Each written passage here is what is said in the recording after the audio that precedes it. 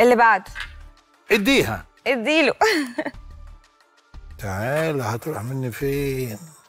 فاكرة الدبار ده زمان آه، يحطوه في الشويلة. دي كده عشان النظام مطلوب. وكده. وكده.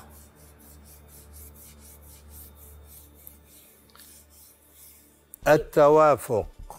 سؤال التوافق بيقول لحضرتك التوافق في العمر شرط أساسي من شروط الارتباط عندك ولا ممكن تتجوز ليه واحدة أصغر منك؟ ولا ليه قيمة المهم الصحة تبقى كويسة.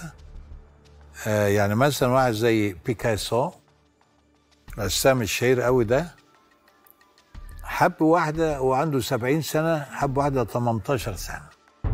شارلي شابلن اتجوز بنت الأديب الشهير يوجين أونيل كان عنده أياميها 65 سنة وهي كان عندها 18 وخلفوا ستة. آه قال- قالت له قال لها أنا هعلمك الحياة وهي قالت له أنا هعلمك إزاي تعيش. لا آه فما فيش معايير في الحاجات دي خالص ولا تصدقي.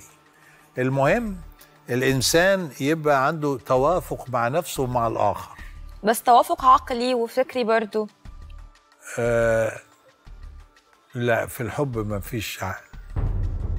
ممكن تتجوز بنت أصغر منك ب 20 30 سنة حتى؟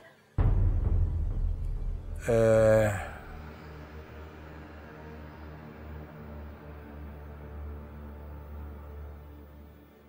لا. سؤال صعب. مش صعب. عشان الفن عندي واخد كل حياتي. كل وقتك. آه لكن لو قبل كده مثلا ب 20 سنة آه طبعا. شرط أن تسعدني. لا أن ترمي حمولها عليا لازم يتعلموا زي بتوع بره بيساعدوا بعض. هنا لا داخلين يخططوا عشان ياخدوا حاجة. كل واحد عايز ينتج من التاني حاجة. عشان كده ما بيعرفوش يحبوا. كثيرين كده. عشان كده عندنا نسبة طلاق عالية جدا. وإلى الأبد. ليه؟ مفيش آه مصداقية حتى في شكل العلاقة. ليه؟ كل حاجة بقت دلوقتي مكشوفة. الجهاز ده بوظ كل حاجة في الدنيا. بقى في شك بين الطرفين. هي تشك فيه وهو يشك فيها. وكل ده بسبب الأستاذ دبوس بدون شك. انت قبل كده حبيت واحدة تركية؟